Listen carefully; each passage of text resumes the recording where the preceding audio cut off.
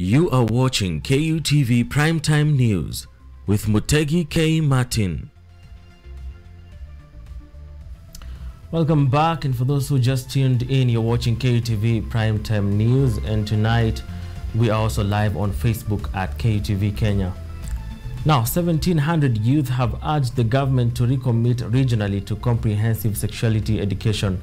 They continue to sign the petition targeting 2,500 youth for inclusion of more on education and access for information and services for adolescents with the ongoing conversations on competency-based curriculum CBC. According to the young people, the pandemic has seen the increase of teenage pregnancies, sexual violence, and consequently prevalence in HIV, negating the efforts to reduce adverse effects of unprotected sex and safeguarding the young people from early pregnancies and further spread of sexually transmitted diseases. According to research, at least one in five young women in six countries in the Eastern and Southern African region have started childbearing by the age of just 17 years.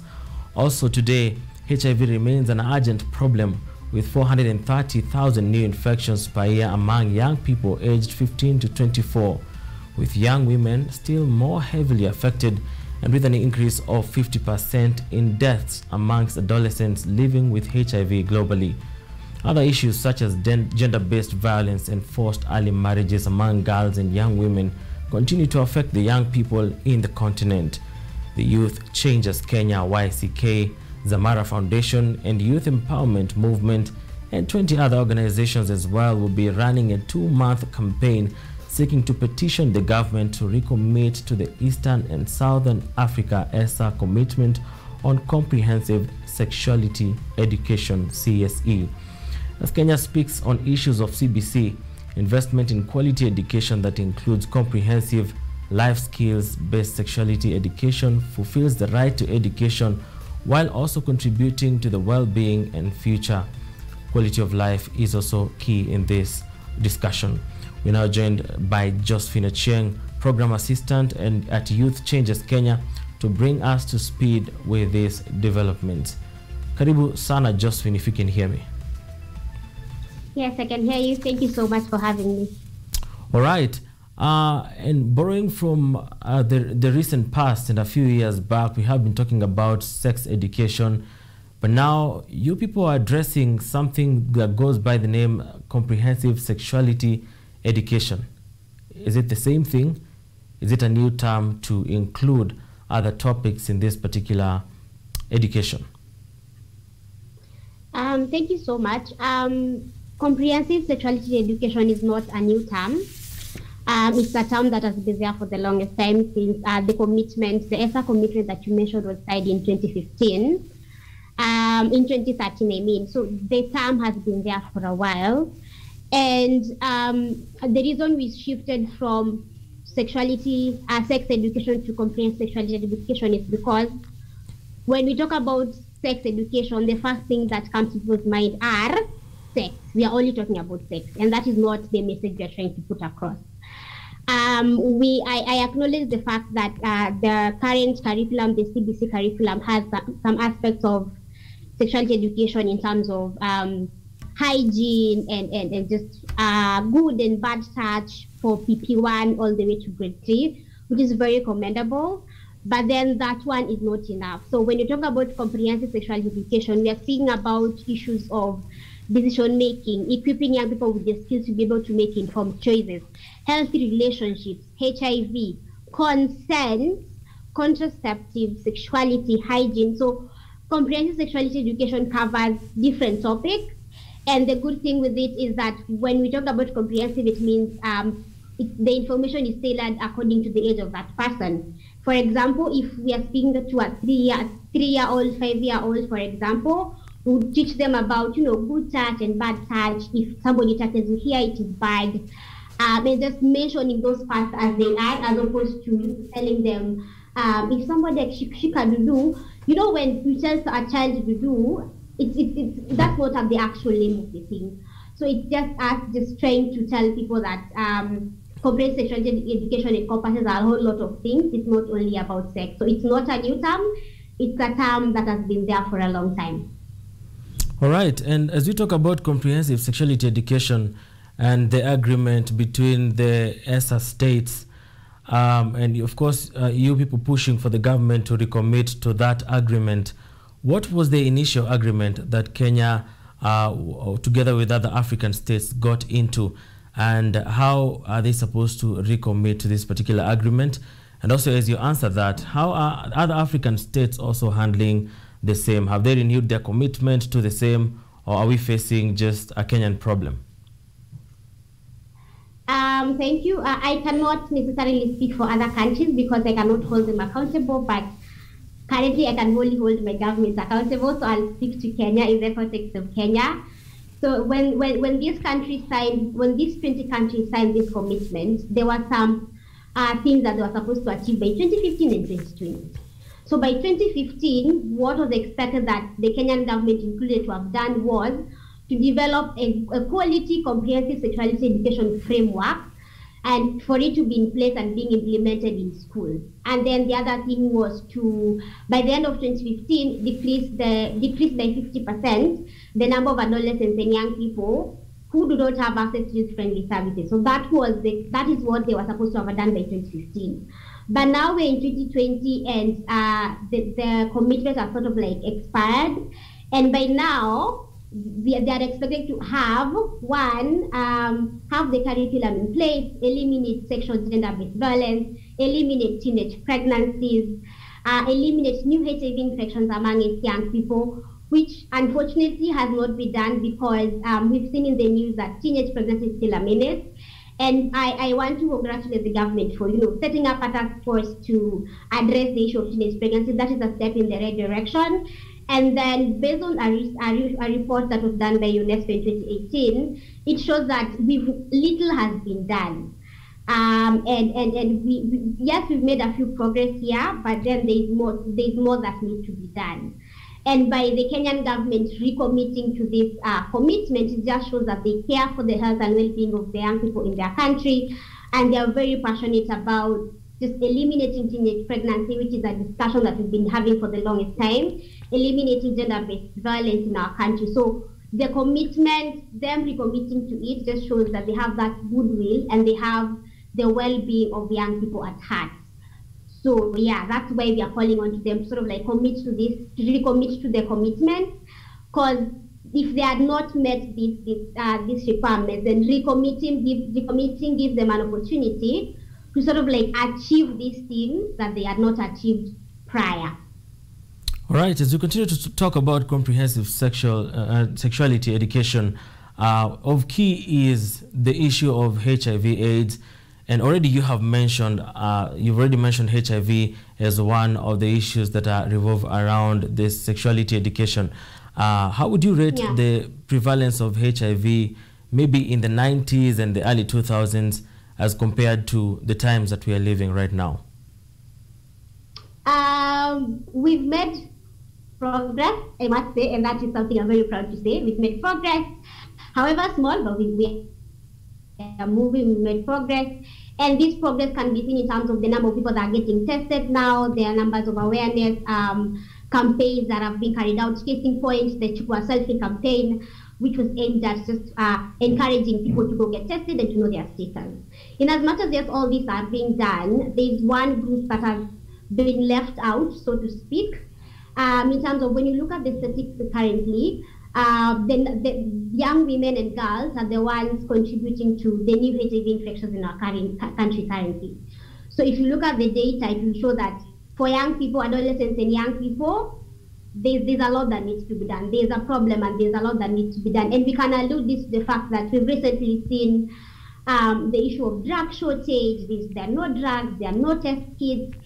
And, and, and just this contributes to that because if I'm a young person living with HIV, for instance, Mm. and I don't have my medication, then definitely my adherence will be affected. If my adherence is affected, then I'll start getting sick. If I start getting sick, then I'll probably die. And then that sort of like increases the mortality rate uh, of AIDS-related deaths as opposed to, um, you know, if if drugs were there and, and if and if things were done the way they're supposed to be done. So I think yes, we've made strides, um, a bit of strides, but I think more still needs to be done. A lot of work, a lot of interventions still need to be done cater for this particular group of young people between the age of 10 to 24, because this is where the, the gap is. This is where the new HIV infections are coming from. All right. It is, it is however, key to note that um, with us fighting the virus by the name HIV, another virus came and took over, COVID 19, and most of our focus was shifted to the COVID 19, and definitely we have lost focus. Uh, our focus on HIV and other STIs that have continued to, uh, you know, affect a number of people. Uh, how does COVID nineteen and the and the coming of the same and you know the fact that the COVID nineteen is still here, here with us? How is it affecting how we manage and control HIV and other STIs? I think when COVID hit, it all caught us by surprise. I must say. And there was a lot of misinformation in terms of how it is spread. You should have avoiding facilities because of all those um, all those uh, rumors going around. People were very scared to go to the facility. For example, people living with HIV were very scared to go to the facility because people are saying if you go to the facilities, you will contract it. So they didn't go to facilities, and if they don't go to facilities, they didn't get their medication on time.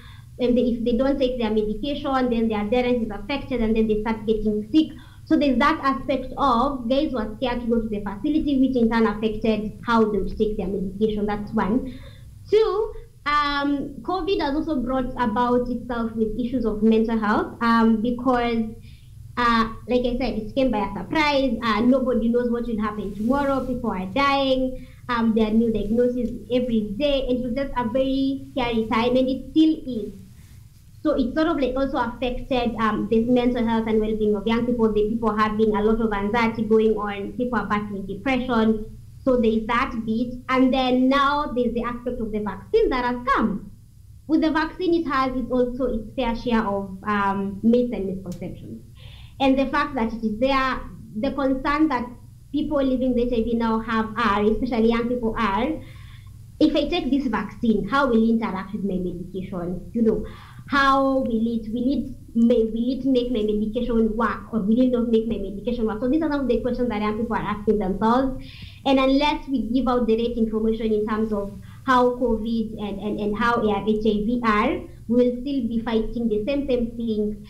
And the fact that the government has put a lot of effort on COVID, which I understand it's, it's good progress, but then they should not forget about these other epidemics that we have, that is HIV and AIDS. I think they need to work together so that five, ten years from now, we don't look back. We've started COVID, but then now we have to come back and again start sorting the issue of HIV. It means they need to put efforts on both fronts. All right. And as we continue to talk about COVID 19 and its effects, we notice that the effects are not just um, they're not just uh, in the medical field, but also psychological issues of mental health, as you have said, and economic uh, uh, state as well of many Kenyans has been affected. And uh, just to note that uh, some of the Kenyans are facing depression because of their economic instability. And some of the other things that come with it is poverty, and of course, people not going to jobs anymore, people not having stable businesses and therefore lacking, uh, you know, their sources of livelihoods. And poverty has, over the years, been linked to one of the factors that can lead to the spread of HIV and AIDS. Now, uh, we're looking at uh, an impending danger that is about to come by the hike in the amount of and in the numbers of people who are affected by COVID, uh, by HIV. I beg your pardon. How is this, in your view, going to affect the situation in the country and are people gonna get HIV because um, you see in the situations where we have uh, uh, girls and young women who may opt to uh, go to uh, places like in the industries like prostitution which have been linked also to poverty. And how is this going to affect this the country in this particular time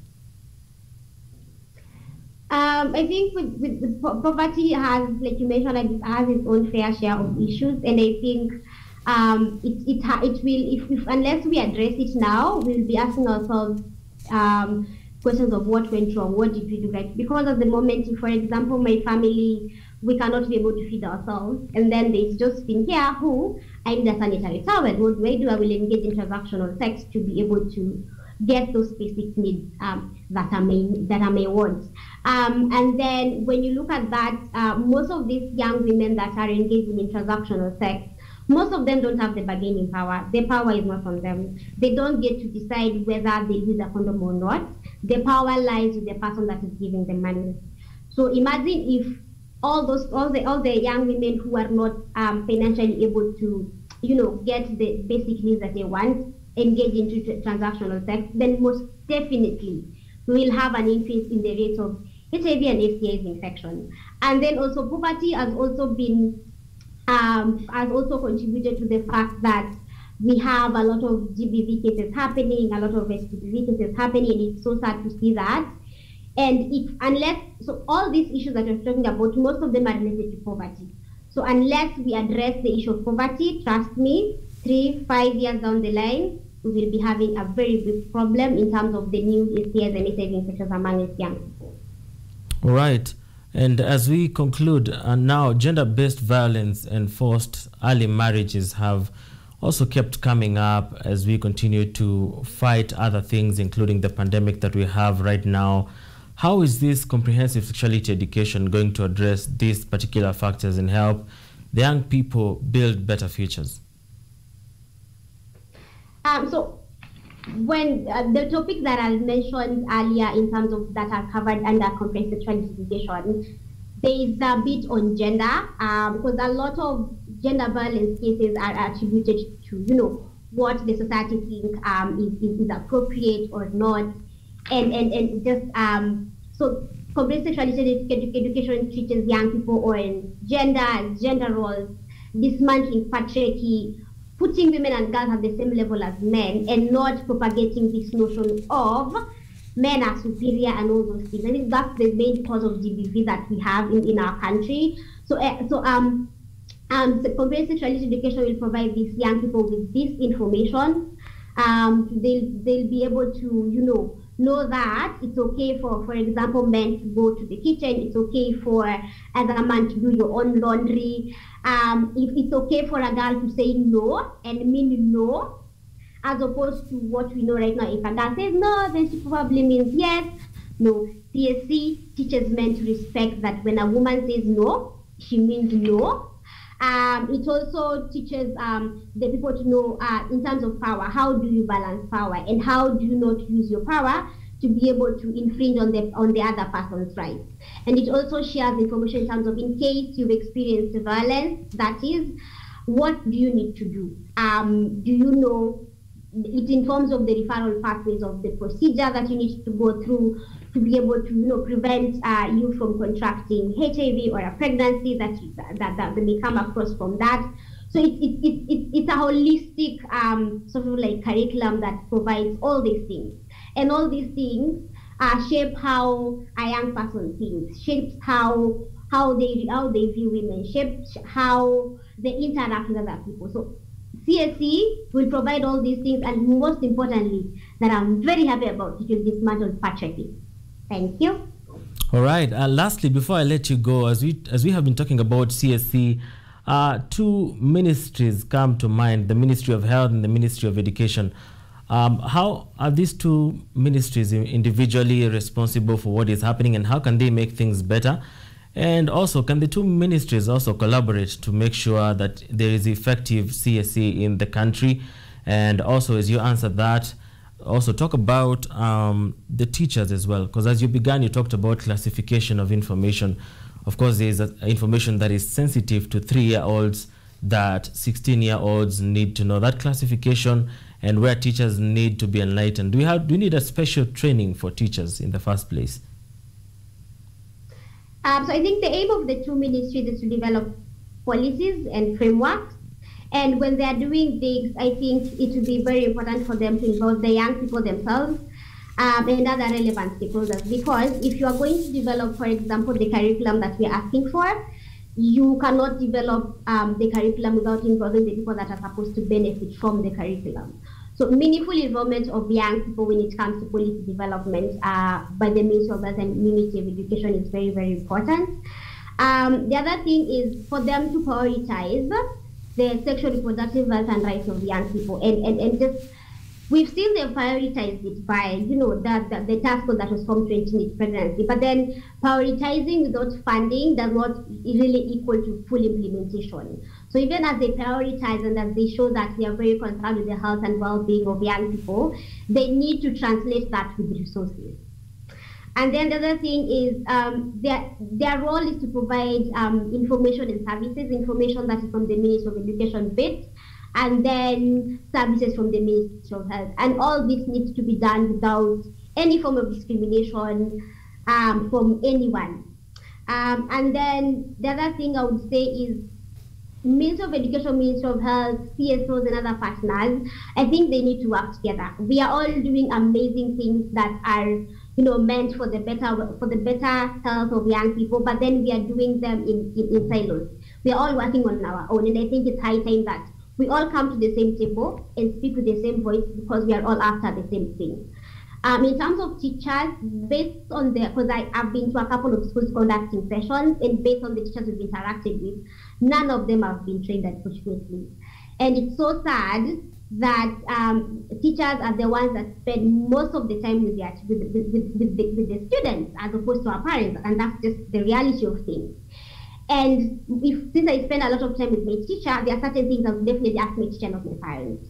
So I think teachers need to be trained on how to provide this information.